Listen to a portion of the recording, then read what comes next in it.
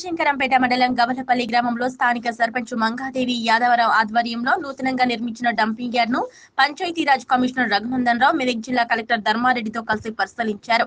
Dumping యార్డ్లో చేపట్టిన vermi compost ఎరువు తయారీ విధానంపై అధికారులను అడిగి తెలుసుకున్నారు.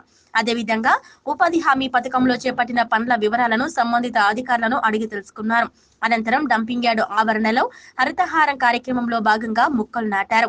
గవలపల్లి గ్రామ శివారులో నూతనంగా నిర్మిస్తున్న రైతు వేదిక భవనాన్ని పరిశీలించి త్వరగా పనులు ప్రారంభించి ప్రభుత్వం ఆదేశించిన సమయానికి నిర్మాణాలు పూర్తి చేసి అందించాలని కాంట్రాక్టర్ను ఆదేశించారు. అదేవిధంగా రైతు వేదిక భవన నిర్మాణ పనులను పరిశీలించిన కమిషనర్ రఘునందన్ రావు గ్రామంలో చేపట్టిన హర్తహారం డంపింగ్ యార్డు అభివృద్ధి పనులపై సంతృప్తి వ్యక్తం చేశారు. ఈ కార్యక్రమంలో మెదక్ జిల్లా కలెక్టర్ ధర్మారెడ్డితో పాటు స్థానిక సర్పంచ్ మంగాదేవి యాదవరావు జిల్లా పరిషత్ సీఈఓ లక్ష్మీబాయి పంచాయతీరాజ్ ఈఈ వెంకటేశ్వర్లు జిల్లా వ్యవసాయ అధికారి పరశురాం నాయక్ జిల్లా పంచాయతీ అధికారి Dhanuk NREGS PD Srinivas tahsildar Rajeshwararao MPTO Lakshmanamurthy ఉప సర్పంచ్ రామ్రెడ్డి ఏఈ విజయ్ కుమార్ పంచాయతీ కార్యదర్శి వెంకటేష్ పట్లూరి రాజు తదితరులు పాల్గొన్నారు.